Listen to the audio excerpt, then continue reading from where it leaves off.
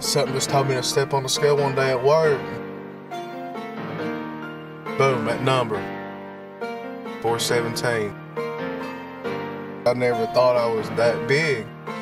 I came to Fitness Point because everybody was here for the same thing. You can walk in and not be judged for what you look like. We got a destination and we got to get there. Signed up and been at it ever since. Even though you can't physically see them say it or hear them say it, you know, there's always somebody out there wanting me to fail. I embrace it. Watch me shine, that's all I can say. A lot of it is my health, get out of the 300 club. It's gonna take hard work and dedication. That's all there is to it. Look me up on Facebook at Tommy Haun or on Instagram, Local Legendz 423, Transformations with Tommy. I done came too far. I can't stop.